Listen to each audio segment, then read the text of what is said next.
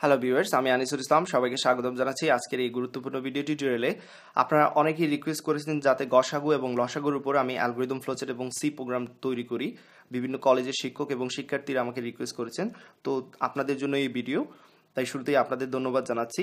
তো আজকে আমি যেটা করব, এই ভিডিওটিতে আমি শুধু গসাগু এবং লসাগু কীভাবে নির্ণয় করতে হয় সেটা শিখিয়ে দেওয়ার চেষ্টা করব, আবার রিমাইন্ড করে দেওয়ার চেষ্টা করব, মনে করিয়ে দেওয়ার চেষ্টা করব এবং ঠিক পরবর্তী ভিডিওটিতে আমি গসাগু এবং লসাগুর জন্য অ্যালগোরিদম ফ্লোচার এবং সি প্রোগ্রাম তৈরি করে দেখাবো।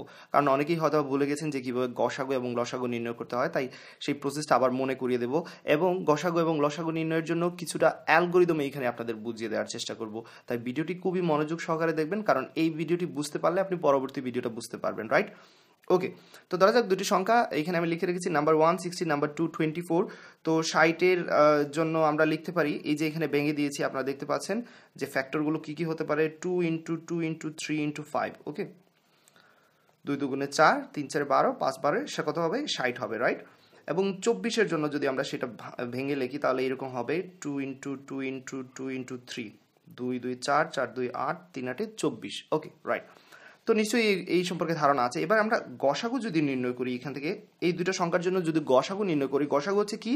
গ্রেটেস্ট কমন ডিভিজর ওকে জিসিডির ফুল মিনিং হচ্ছে গ্রেটেস্ট কমন ডিভিজর জিসিডিকে আমরা গসাগু বলি এবং এলসিএমকে লসাগু বলি রাইট তো গ্রেটেস্ট কমন ডিভিজরে আমরা কি করি? শুধুমাত্র যেগুলো কমন যাবে, এই দুইটাতে যেগুলো কমন যাবে সেগুলো আমরা নেব। যেমন এইখানে এই দুটো আমরা কমন নিতে পারি। টু এইখান থেকে এই দুইটা থেকে আমরা এই দুটো কমন নিতে পারি। এইখানেও টু আছে, এইখানেও টু আছে, সুতরাং আমরা টু নিতে পারি। তারপর থ্রি এইখানেও আছে, এইদিকেও আছে, দুটোতেই আছে, তাহলে আমরা থ্রিটা কমন নিতে পারি। আর কোনো কিছু কিন্তু কমন নিতে পারি না। সুতরাং আমাদের গসাগু দাঁড়াচ্ছে, অর্থাৎ জিসিডি দাঁড়াচ্ছে দুই দুই, চার, তিন, চারে বারো। তাহলে এই দুইটা সংখ্যার গসাগু হচ্ছে বারো। এবার এলসিএম কীভাবে নির্ণয় করবেন? এলসিএম নির্ণয় করার পদ্ধতি হচ্ছে, যেগুলো কমন যাবে সেগুলো অবশ্যই নেব, অর্থাৎ দুই এখান থেকে দুইটাতেই দুই আছে, সেটা নিতে পারি। এই দুইটাতেই তিন আছে, সেটা নিতে পারি।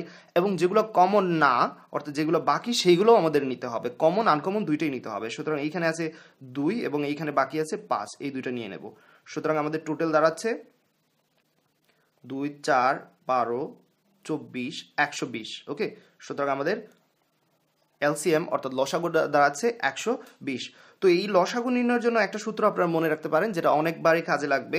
লসাগু নির্ণয় করার আরেকটা পদ্ধতি আছে জিসিটি যখনই নির্ণয় করতে পারবেন, তখন লসাগু নির্ণয় করার জন্য একটা পদ্ধতি আছে। লসাগু নির্ণয়ের পদ্ধতি হচ্ছে LCM equal number one into number two divide by GCD. আপনি যখনই জিসিডি বের করতে পারবেন, তখন এলসিএম খুব সহজেই বের করতে পারবেন। কারণ আপনি নাম্বার ওয়ান এবং নাম্বার টু এর গুণফলকে যদি জিসিডি দ্বারা বাদ করেন, তাহলে আপনি কি পেয়ে যাবেন? লসাগু পেয়ে যাবেন। ধরা যাক, আমরা জিসিডি বের করে নিয়েছি, এবার লসাগু নির্ণয় করব। জিসিডি আমরা কত পেয়েছি? বারো। এবং দুটো সংখ্যার গুণফল, অর্থাৎ সিক্সটি ইন্টু টোয়েন্টি ফোর যদি এখানে উপরে বসিয়ে দিই, তারপর বারো দিয়ে চব্বিশকে আমরা দুইবার বাক করতে পারি।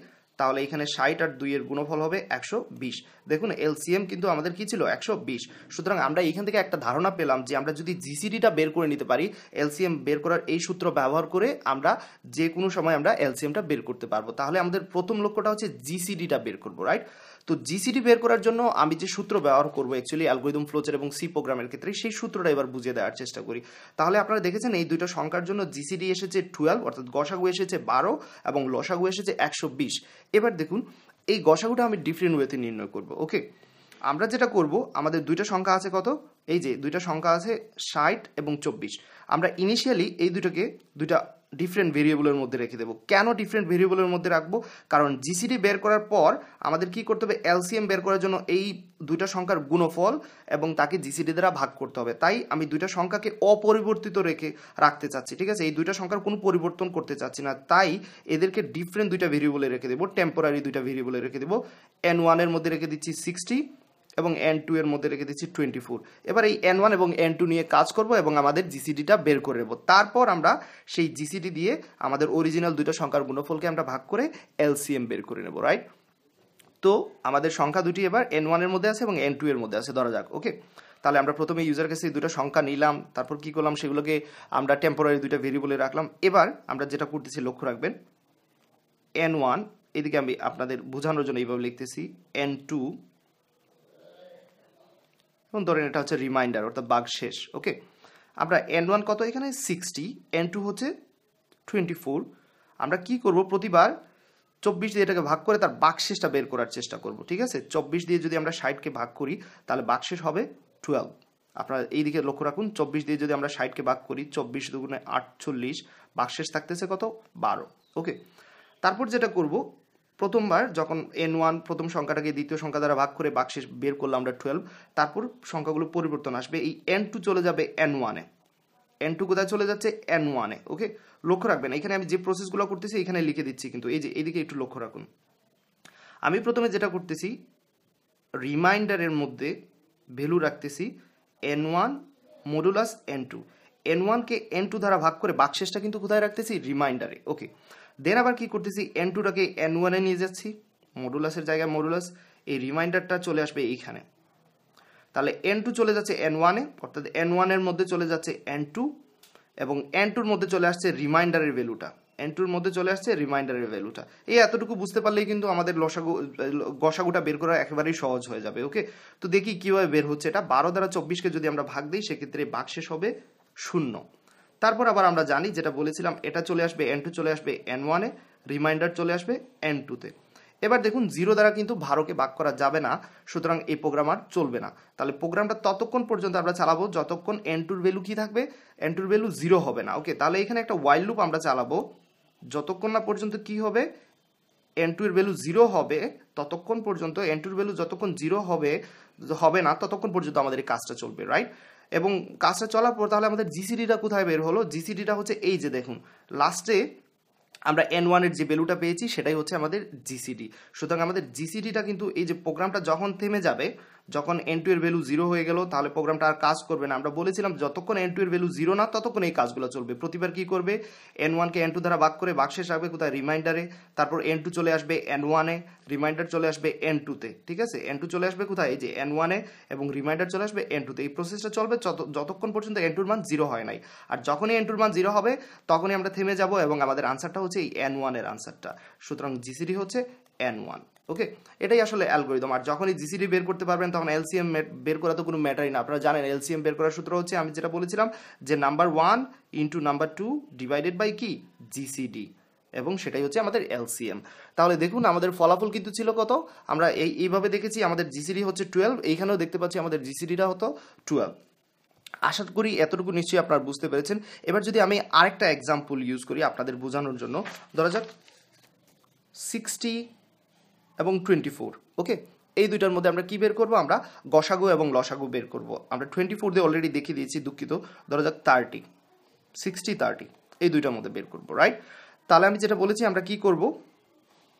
আমরা যদি নর্মালি সিক্সটি এবং থার্টির লসাগু, গসাগু দেখি সিক্সটি ইকুয়াল হচ্ছে two into two into three into five এবং থার্টির জন্য হচ্ছে দুই, তিন, পাঁচ ওকে তো এটাকে যদি আমরা করি আমাদের গসাগু আসবে, জিসিডি আসবে, আমরা জানি এই দুটার মধ্যে কমন হচ্ছে টু আবার এই দুটার মধ্যে কমন হচ্ছে থ্রি এই দুটার মধ্যে কমন হচ্ছে ফাইভ তাহলে থার্টি আসবে ওকে আমাদের গসাগুটা কত আসবে? থার্টি আসবে। আর এলসিএম বের করার সূত্র তো আপনাদের বলেই দিয়েছি যে আপনারা চাইলে কি করতে পারেন? জি এন নাম্বার ওয়ান এবং নাম্বার টু গুণ করে জিসিডি দ্বারা বাক করলেই আপনার কি পেয়ে যাবেন? এলসিএমটা পেয়ে যাবেন রাইট এবার আমি আমার যে প্রসেসটা আমরা অ্যালগোরিদমটা যে অ্যালগোরিদমটা শিখেছি, সেই অ্যালগোরিদমটা ব্যবহার করি। আমি বলেছিলাম যেটা করব আমরা এদিকে এন ওয়ান থাকবে এদিকে এন টু থাকবে, এবং প্রতিবার আমরা রিমাইন্ডার বের করব, ঠিক আছে? অ্যান টু দ্বারা ভাগ করলে থার্টি দ্বারা যদি আমরা সিক্সটিকে ভাগ করি, লক্ষ্য রাখবেন, দুইবার যাবে বাকশেষ থাকবে কত জিরো? বাকশেষ থাকবে কত জিরো? আমি বলেছিলাম আমাদের এই প্রসেসটা আমরা কি করতেছি? প্রতিবার N one modulus N two N two দ্বারা এন ওয়ানকে ভাগ দিচ্ছি এবং ফলাফলটা আমরা রিমাইন্ডারের মধ্যে রেখে দিচ্ছি, ওকে? তারপর কি করতেছি? এন টুটাকে আমরা এন ওয়ানে নিয়ে আসব। আমরা এন টুটাকে কোথায় নিয়ে আসব? এন ওয়ানে প্রতিবার এরকম কাজ করব। তাহলে এন ওয়ানের মধ্যে রেখে দিচ্ছি কার ভ্যালু এন টুর ভ্যালু এবং তারপর কি করতেছি? এই রিমাইন্ডার যেটা ছিল এই বাকশেষটাকে নিয়ে আসছি এন টুর ভ্যালু হিসেবে, ঠিক আছে? এইখানে চলে আসতেছে প্রতিবার, ওকে? এন টুর মধ্যে আসতেছে, এই যে এন টুর জায়গায় আসতেছে কার ভ্যালু? রিমাইন্ডারের ভ্যালু। এবং এই প্রসেসটা চলবে ততক্ষণ যতক্ষণ পড়েছিলাম যে ওয়াইল যতক্ষণ পর্যন্ত এন্টুর ভ্যালু কি হয় নাই জিরো হয় নাই, ঠিক আছে? এই প্রসেসটা চলবে। তো এন্টুর ভ্যালু যখন জিরো হয়ে যাবে, তখন আর নিশ্চয়ই এখানে বাকশেষ বের করা যাবে না। তখন আমাদের আনসারটা হচ্ছে এই যে এন ওয়ান আনসারটা হচ্ছে কি? এন ওয়ান গসাগুটা হচ্ছে এন ওয়ান দেখুন, আমাদের গসাগু কত বের হয়ে গেছে? থার্টি বের হয়ে গেছে রাইট আশা করি এতটুকু বুঝতে পেরেছেন এবং গসাগু নির্ণয় করার পর অবশ্যই আপনারা লসাগু তো নির্ণয় করতে পারবেন। সেই প্রসেসটা আমি আপনাদের দেখিয়েছি।